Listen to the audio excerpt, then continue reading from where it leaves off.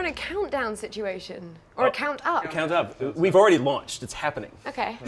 In, in This is it. our This is not like in, this. We're wasting our in our country, Yeah. uh, when it gets to five minutes to five, it'll go. "Du-du, du-du, du-du, du-du." What is that? Is that, like a is BBC The thing? most obscure reference. Welcome to we CBR. TV. I'm Jonah Weiland, and in the CBR Tiki Room, we have two of the stars from Da Vinci's Demons. This awkward start, but good. Yeah. But wait, no, wait. Okay, this. Okay, let's see. Tom Riley, Laura Haddock, mm-hmm. Da Vinci, and Lucrezia. Yeah. This is our one-year anniversary. Happy anniversary. Yeah, happy Thank anniversary. Because we met a year ago. What did what did what you did get, you get us? what did you Actually, get we us? have something for you. Yeah. Ready? Come on. Come on. We have CBR cowbells just for you. No I was just saying, way! there's not enough cowbells. Oh my god, this is so brilliant. Awesome. Time's up. Thank you. so if you can work that into Da Vinci's Demons somehow, you know, just put it in the in the background. or I, something. do you know what? We probably That is a could. challenge I'm going to take. because we, I'm going to do Yeah, that. keep watching. Yeah. It'll be in episode 10. I'll find a way. You know, uh, you're, the, the guy who does the music for your show, Bear McCreary, Yeah. he, uh, he got a challenge from somebody who wants to do kazoo uh, in one of his shows, and he actually put it in The Walking Dead. No. And, and he, he found a way to make it work, and so I, I got to get him one of He these. finds a way to make everything and anything like that, Yeah, man. Bear's He's incredible. incredible. So let's talk about season two. Going in a slightly new, new direction, you're going into the new world. It sounds like it's going to be a little bit more adventure. Mm. Is, that, is, that, is that correct? Well, at the beginning, at the beginning, at the end rather, at the beginning of the first season, at the end of episode two, we revealed a map of South America on the wall, and there's only on on um, on the wall of Da Vinci's workshop. There's only really a, so much time you can go stalling before you have to send him off. And David had always pitched the show as a quest show. We were always going to go around the world and see things. It just took a bit of pushing Yeah. stars to convince them that that's what was going to work.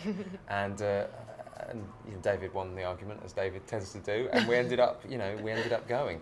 Um, and it's been crazy because it's allowed the characters, not just uh, the ones who go to South America, but others go to other parts of the world, and other people visit unusual, unexpected places in Italy. Mm. So they, they move geographically and they grow emotionally. They go on journeys both within them and without themselves.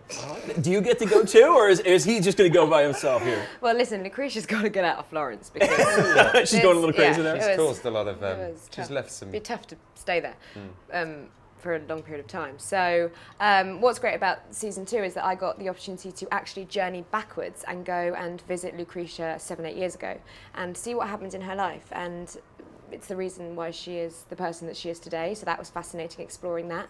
And then she goes off on lots of different journeys again. She's kind of being puppeted around by. As an actress, uh, that's interesting. So you're going to go play like a younger version of her, uh, or, or uh, Yeah, it was a lot of concealer that morning. What? I mean, a lot of concealer. I was like, come on, Full girls. prosthetics, Yeah, actually, full you're in, prosthetics. yeah. Come on, girls. Seven, eight years ago. Yeah. Let's take it off. But how did how did you adjust your personality? What did you strip away from her? It was so lovely to go and visit Lucrezia and play Lucrezia when when she was innocent and pure and young and hopeful and it was it was sad it was really sad to think that she could have been this beautiful warm open mm-hmm. person to life and experiences but what happened in that moment changed her forever.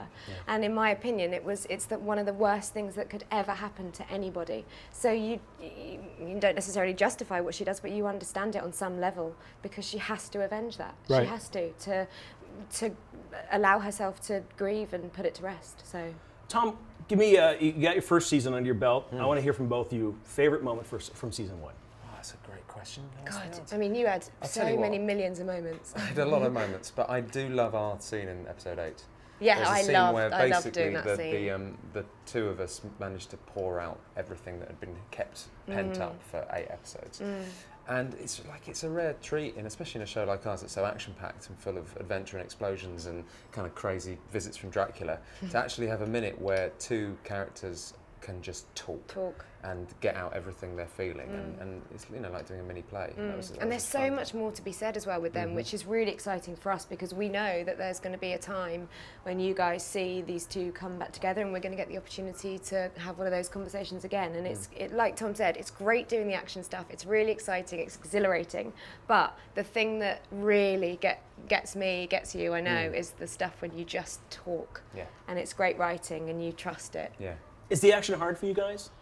the it's action. hard for me. Yeah, I'm constantly breaking things. I'm You're good at it bruises. though, Are really, you really? good at it. Have you broken yourself, uh, broken things on set? Uh, Emma, my makeup artist, has to cover my bruises Hey, Emma. every day. Hey, Emma. has, has to has to cover bruises every single day, bruises and scratches, and or add and you don't want to know where. Um, what are you doing to him? or add them if It I don't ain't have me, enough. babes. That's the worst thing. Or cover them, in, cover me in blood if there isn't Yeah. enough blood already. So yeah, it's an action packed show, and you, when you're playing that kind of part that's constantly being thrown out of windows or jumping off cliffs, then you're going to sustain some injuries. I, you know, finishing up here, David being who he is, he's everywhere right now. He's making Batman movies, he's making Yeah. Superman movies.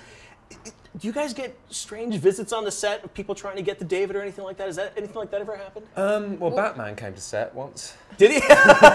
Yeah, just dropped in out of the sky, just sorted some people out who were giving us some trouble. No, not really actually. Because we People are keep it trying under to get wraps when with him. David's Yeah. there. Okay. So it, obviously he, he works mostly out of LA where the writers' room is. He comes to set occasionally back and forth every month or so. Right. But it's never at the same time. There's never a routine. We don't We're pretty, we're pretty weird it, with him though, aren't we? Oh, like yeah, I when mean, we- he's in we- Wales, we're like, David, go and we Tell text, me what happens in Batman yeah. vs. Superman. Just Tell me what happens. And Who's the bad guy? Can you sign this?